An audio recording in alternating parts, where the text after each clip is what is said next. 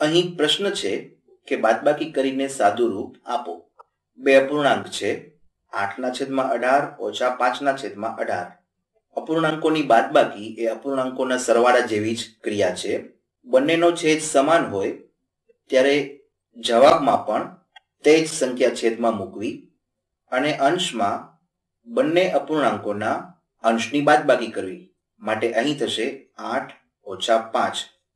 જેને બરાબર લખાય ત્રણના છેદમાં અઢાર. આ જવાબ મળ્યો. પણ તેનું સાદુરૂપ આપવાનું છે. કારણ કે ત્રણ અને અઢાર એ બંને ત્રણ વડે વિભાજ્ય છે. તો ચાલો બંનેને ત્રણ વડે ભાગીએ. ત્રણ ભાગ્યા ત્રણ અને અઢાર ભાગ્યા ત્રણ. આમ સાદુરૂપ મળે ત્રણ ભાગ્યા ત્રણ બરાબર એક, અઢાર ભાગ્યા ત્રણ બરાબર છ. આમ જવાબ થશે એકના છેદમાં છ. ચાલો આપણે તેને થોડું જુદી રીતે વિચારીએ. અહીં અઢાર ભાગ દોરીએ.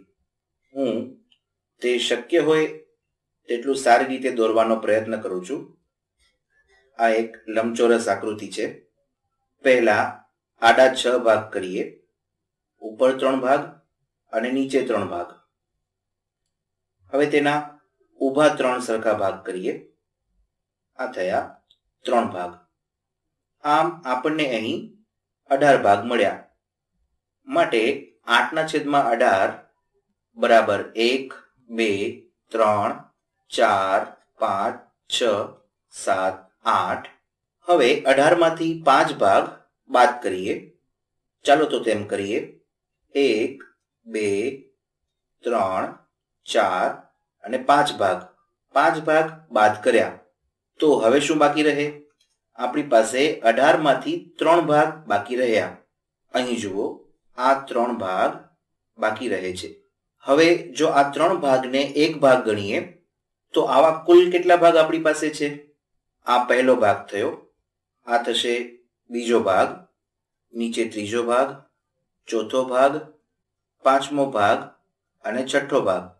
તમારી પાસે અઢાર ભાગ છે, તેમાંથી ત્રણ ત્રણ ભાગને ભેગા કરીને એક ભાગ બનાવો, તો તમારી પાસે કુલ છ ભાગ હોય. જુઓ, આ દરેક આડી હરોળ એ એક ભાગ છે. તેમજ આ ભૂરો ભાગ એ છ માંથી એક ભાગ થશે. માટે ત્રણના છેદમાં અઢાર અને એકના છેદમાં છ બંને સમાન થશે.